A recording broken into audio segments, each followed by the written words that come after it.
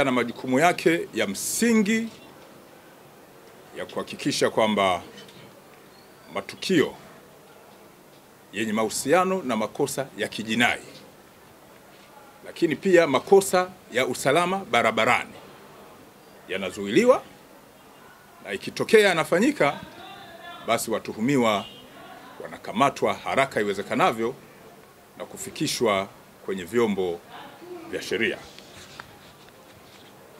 Ipo operation maalum ambayo imeanza kuhusiana na watu ambao kwa makusudi wanazivunja sheria za usalama barabarani. Miongoni mwa kundi kubwa ambalo limejitokeza ya baadhi ya wahusika, narudia, baadhi ya wahusika ni waendesha pikipiki maarufu kama bodaboda.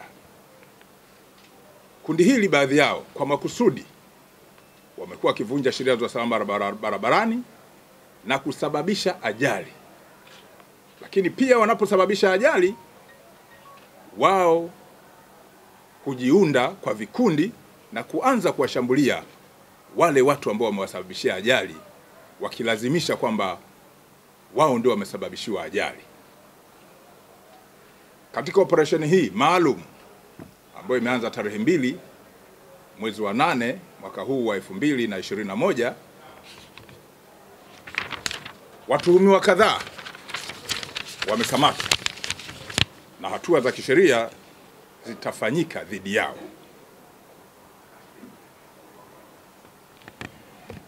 Zaidi ya watuhumiwa kwenye pikipiki hizi za bodaboda ambao wamekamatwa ni zaidi ya watuhumiwa mia moja kumi na nane. Baadhi yao wamekamatwa kwa kupita taa nyekundu kwa makusudi na kusababisha ajali mbaya kwa baadhi ya watu, lakini baadhi yao kwa makusudi wanafanya overtaking kushoto na kusababisha ajali mbaya, lakini baadhi yao kwa makusudi wanabeba watu zaidi ya wawili mpaka wanne na kukosa balance na kusababisha ajali, na wengine wengi kwa makusudi hawavai kofia ngumu, ambapo wao wenyewe wakipata ajali hupoteza maisha. Takwimu zimetuonyesha lipo kundi kubwa la vijana waendesha pikipiki maarufu kama bodaboda wanapoteza maisha kwa sababu ya kutofuata sheria za usalama barabarani. Takwimu pia zinatuonyesha askari polisi wamefanya kila jitihada ya kutoa elimu kwa hawa watu waendesha bodaboda. Wengi wamepata elimu, lakini yapo makundi ambayo hayakubali kupoteza muda ya kwenda kupata elimu ya bure kwa askari polisi ili kuepukana na tatizo hili. Jeshi la Polisi Kanda Maalum Dar es Salaam litawaelimisha kwa nguvu kwa kutumia sheria. Narudia, Jeshi la Polisi Kanda Maalum ya Dar es Salaam, waendesha pikipiki wenye vichwa vigumu litawaelimisha kwa nguvu kwa kutumia sheria za usalama barabarani na zile za mahakama ya nchini Tanzania.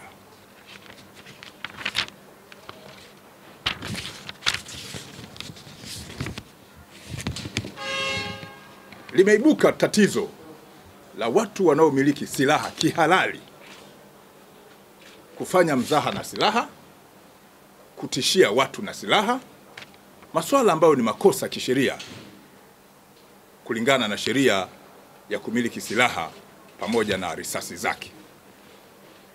Jeshi la Polisi Kanda Maalum ya Dar es Salaam limewakamata na kuwashikilia watu wanne ambao walimilikishwa silaha kihalali, wakati huo wakiwa wamekidhi masharti ya silaha, lakini sasa hivi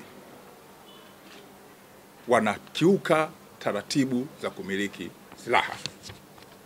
Watu hao ni pamoja na Isaac Robert, huyu ni mkazi wa Sinza, tumemkamata na silaha yake tunaishikilia. Lakini pia yupo Rashid Idi Mshana, huyu ni mkazi wa Mwenge, naye amekamatwa, amehojiwa na silaha tumeishikilia, lakini yupo pia mtu anaitwa Musa Rashidi ambaye pia Rashidi Idi nimeshamtaja, wote ni wakazi wa Mwenge, nao wamekamatwa. Yupo mtu mwingine anaitwa Ibrahim Shaibu, huyu ni mkazi wa Kinyerezi, amekamatwa. Kama mnakumbuka, hivi karibuni kuna klipu ilikuwa inazunguka ambayo ilimwonyesha mtuhumiwa mmoja akiwa anamtishia mwenzake kwa silaha, na silaha yenyewe baada ya kuchunguza tumekuta sio ya kwake. Mtuhumiwa huyu Isaac Robert na Rashidi Idi Mshana, ambao mmoja alimwazima mwenzake silaha, wamekamatwa na wao pia watafikishwa mahakamani, na wakati huo huo sheria ya kuhakikisha wanatenguliwa kumiliki silaha hizi inaendelea kufanyika. Yupo mtu mwingine anayejulikana kwa jina la Robert Wile Wambura, mlevi, huku akiwa anaimiliki silaha kihalali, lakini akiwa kwenye mazingira ya ulevi, na ushahidi ume, umethibitisha hivyo. Alikuwa akiwatishia watu na huku akifanya vurugu, lakini akiwa katika mazingira ya ulevi. Tumemkamata pia mtuhumiwa aliyejulikana kwa jina la Ibrahim Shaibu ambaye naye amemilikishwa silaha kihalali, lakini akiwa kwenye mgogoro wa ardhi na jirani yake amemtishia kumuua kwa silaha. Hali hii haiwezi kukubalika, na yeye tutafuata taratibu zile zile zilizomfanya amiliki na kukiuka taratibu hizi kumnyang'anya silaha hiyo, na wakati huo huo kesi yake ya jinai ya kumtishia jirani yake kwa silaha itaendelea mahakamani. Ndugu waandishi wa habari, hivi karibuni tulipata tukio la mauaji wa kijana mmoja ambaye alikuwa ni mchunga mbuzi maeneo ya Chamazi huko Temeke. Jeshi la polisi kanda maalum ya Dar es Salaam linawashikilia watu wanne baada ya uchunguzi. Walikula njama kwa pamoja, wakamfuatilia kijana huyo kwenye machunga, wakamuua, wakaiba mbuzi watano kati ya mbuzi 27 ambao walikuwa na wachunga, wakaenda kumfukia kwenye shimo porini, lakini uchunguzi umefanyika na baadhi ya vielezo muhimu vya kiuchunguzi vimepatikana. Watu hawa watafikishwa mahakamani haraka iwezekanavyo. Miongoni waliokamatwa ni pamoja na mtu anayemiliki baa maeneo niliyoyataja, ambaye yeye ni mnunua mbuzi maarufu, ambapo baadhi ya vielelezo vilikutwa eneo lake, na yeye tutahakikisha mifumo ya kisheria inatumika kuhakikisha kila aliyechangia au kushiriki kutokea kwa kifo cha kijana huyu, hatua za kisheria zinachukuliwa.